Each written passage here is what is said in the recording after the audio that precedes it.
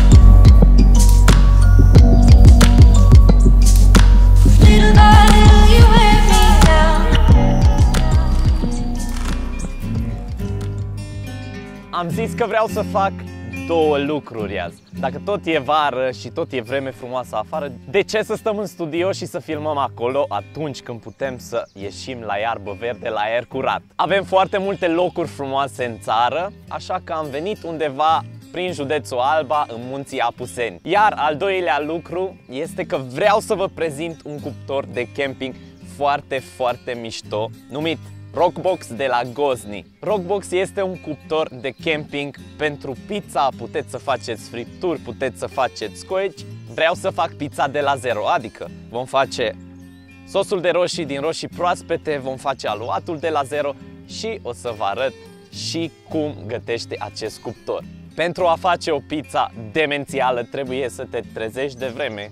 De ce nu la ora 6 dimineața?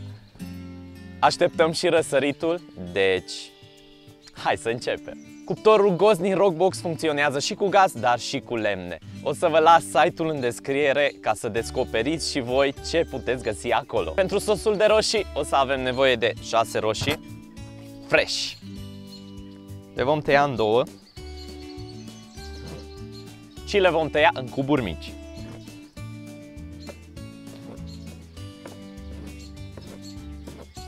Între timp, să încingem o tigaie.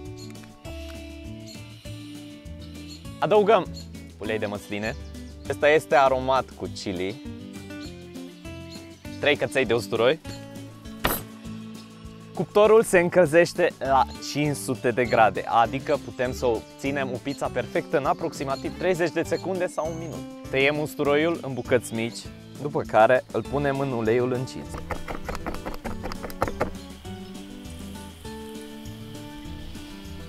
Adăugăm și roșiile.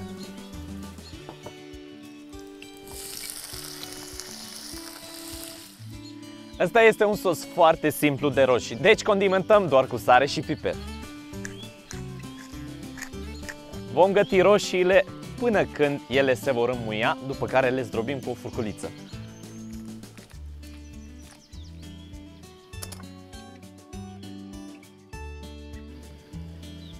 Mamă, deci o să mâncăm ceva super bun.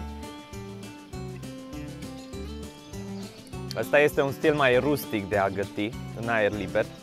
Nu ne complicăm absolut deloc, fiindcă și lucrurile simple sunt mega, mega gustoase. Și acest sos miroase demențial.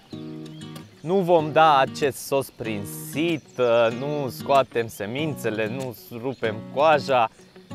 Cum am zis, un mod mai rustic de a găti. Asta îmi trebuie mie la 6 dimineața. Am gătit roșiile pentru aproximativ 15 minute. Acum le lăsăm să se răcească și ne ocupăm de aluat, desigur. Sunt foarte multe tipuri de aluat pe care le puteți face. Sunt cele cu maia, sunt cele cu drojdie. Azi ne apropiem puțin către Napoli și vom face o pizza simplă, clasică, napoletană. Între timp a răsărit și soarele. Mamă, ce bine arată! Așa, dăm lumină, te rog, dăm mai multă lumină. Am cântărit 300 de mililitri de apă. Adăugăm un gram de drojdie proaspătă. Trebuie să lăsăm acest aluat la fermentat pentru 24 de ore. În descriere am să vă las două tipuri de aluat. Cel care o să-l fac astăzi și unul care se prepară mai rapid și nu trebuie să stea atât de mult la dospit. Cei din Italia folosesc făină de tip 00. La noi, dacă nu găsiți, puteți să folosiți și de tip 650 sau o făină de pâine. Adăugăm 500 de grame. Și acum partea cea mai simplă, trebuie să frământăm. Cu mâinile, desigur, nu mai avem robot de bucătărie. Cred că o să mut studioul aici, fiindcă lumina este nemaipomenită, adică arată demențial. Trebuie să frământăm până când aluatul nu se va lipi de mâini. După ce am obținut aluatul acesta, trebuie să adăugăm și sare. Vom pune 12 grame de sare. După ce am pus sarea, mai frământăm încă o dată. Acoperim cu un bol, lăsăm aluatul să se odihnească pentru aproximativ 10 minute, după care revenim și mai frământăm o dată. După cele 10 minute, aluatul nostru s-a odihnit puțin, îl mai frământăm o dată, după care trebuie să lăsăm la dospit pentru, știu, 24 de ore. Sună mult, dar uh, trebuie să lăsăm la fermentat dacă vrem să obținem o pizza super gustoasă. După cum observați, după cele 10 minute, aluatul a devenit mai fin, să zic așa. S-a relaxat puțin. Am frământat aluatul pentru încă 3-4 minute și acum putem observa dacă apăsăm, el este elastic și își recapătă forma inițială. În acest moment știm că este gata, îl vom pune într-un bol și îl vom lăsa la fermentat pentru 24 de ore la temperatura camerei. Dacă nu aveți timp să lăsați aluatul la dospit pentru 24 de ore, puteți să lăsați și pentru 5 ore și pentru 2 ore, putem să negociem. Eu desigur am pregătit un aluat cu o zi înainte. S-au format bulele astea de aer de care avem nevoie și asta înseamnă că este gata să formăm bilele pentru pizza. Vom forma bile de 250 de grame. Deci vom obține 3 pizza din această rețetă. Presărăm puțină făină și formăm bilele. Exact ca și la rețeta de chifle pentru burgeri, vom face aceiași pași. Aranjăm aluatul în interior, după care întoarcem pe cealaltă parte. Mai punem puțină făină. Trebuie să le lăsăm pentru încă 4 ore la dospit, după care putem să facem și pizza. Le voi pune într-o tavă în care am pus puțină făină, după care le voi acoperi cu o folie de plastic sau puteți să puneți încă o tavă deasupra să nu se usuce. Le lăsați la temperatura camerei pentru 4 ore. Așa arată aluatul după cele 4 ore.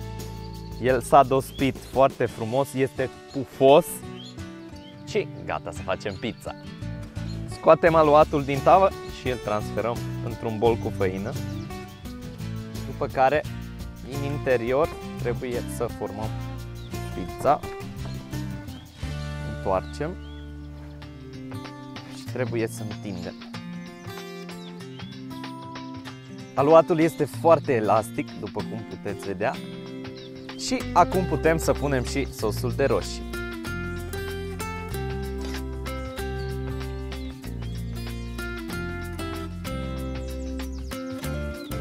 Adăugăm parmezan ras.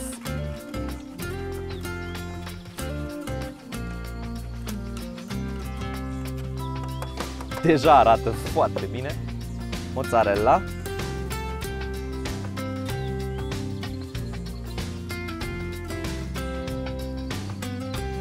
Și câteva frunze de busuioc proaspăt. Wow! Nu e niciodată prea devreme pentru pizza bună.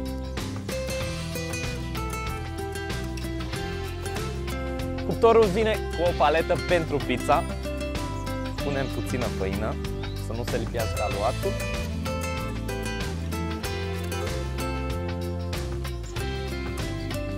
Trebuie să ne asigurăm că se mișcă și pe paletă, după care o vom pune la cuptor.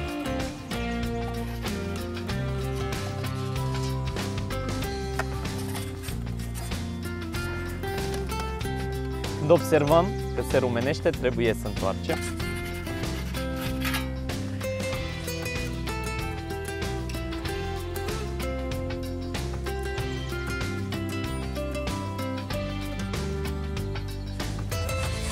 Și așa obținem o pizza napoletană perfectă. La ce mă refer când spun perfectă? Aluatul este foarte, foarte pufos. Mozzarella este topită perfect, abia aștept să o încerc. Voi mai pune câteva frunze de busuioc proaspăt. Mamă, cum arată! Urmează să o tai în bucăți. Să vedem ce gustare. Așa arată o felie de pizza perfectă de dimineață. Să vedem și ce gustare.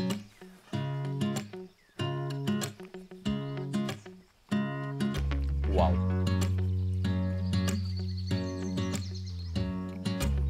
Adică n-am cuvinte. E, e perfect. Vreau să mă teleportez în studioul de acasă să vă arăt și varianta de acolo.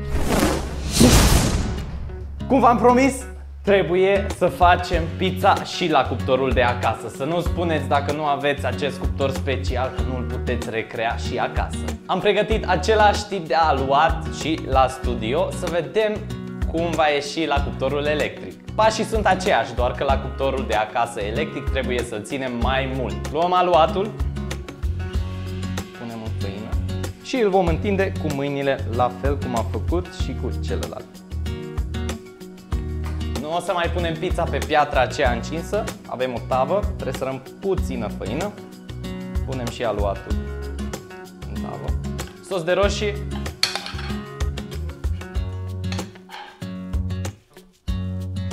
punem și mozzarella, facem o pizza clasică. Vom pune și puțin busuioc din grădina Smart, desigur. Vom pune pizza la 200 de grade pentru aproximativ 6-8 minute, dar vă zic mai exact după ce o scot din cuptor. Am terminat și cu această pizza. Este foarte moale aluatul. Iar când se desprinde de tavă înseamnă că este gata. L-am ținut la cuptor pentru aproximativ 10 minute. Vreau să pun și puțin ulei de chili.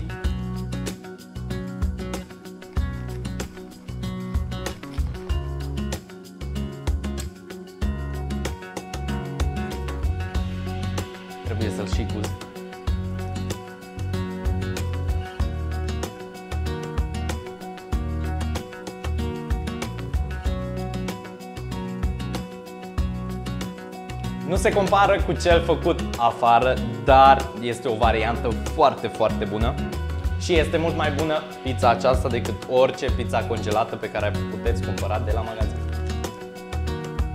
Și acum trebuie să ne întoarcem să vă mai arăt ceva. Între timp am mai gătit și aici două pizza, salami. În timp ce m-am teleportat, am dat și de un radar am primit amendă, dar totul este în regulă. Măcar pizza a ieșit super, super mișto. Dacă vreți să vedeți mai multe episoade filmate în aer liber, ei bine, puteți să lăsați în comentarii. Sper că o să încercați și rețeta asta de pizza. V-am arătat cele două variante. Dacă vreți să vedeți mai multe detalii despre acest cuptor, o să las linkul în descriere. Ei bine, rezultatul nici nu se compară cu pizza făcută acasă. Este demențială.